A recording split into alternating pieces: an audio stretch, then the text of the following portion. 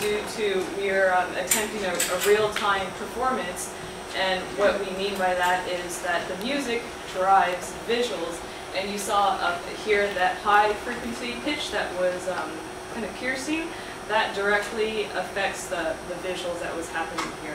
This program that we use called Max MSP Jitter is all about numbers. So if um, we have a great understanding about numbers and using numbers to manipulate visuals and sounds. And uh, turn it over to Jim right here. He's going to actually um, do, a, do a short demonstration of how uh, we have mapped the sounds to the visuals. Yeah. So let me explain our method because we really believe it's gonna be uh, make a different visuals.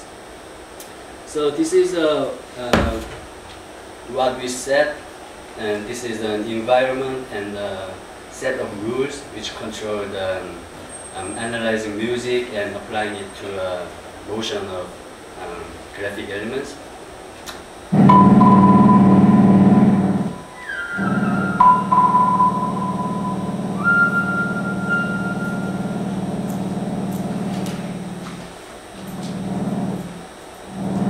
So this is designed to um, perform, do a performance uh, and manipulating the visuals in, real time and like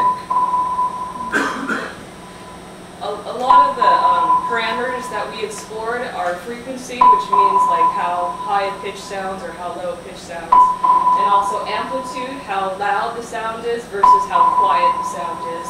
So we played with this, um, the ideas of like music and sound, how we can create so much variety, and we mapped it to visuals, and this is what you're looking at here. So, any questions or comments?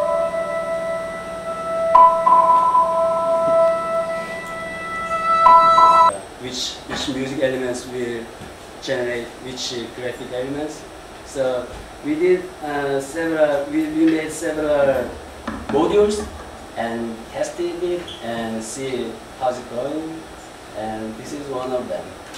So yeah, and you know, these these rules have to be uh, something like it should make um, exact synchronizing and exact reacting to um, music, and it also had to be um, kind of spatial movement because it mostly represents the music itself.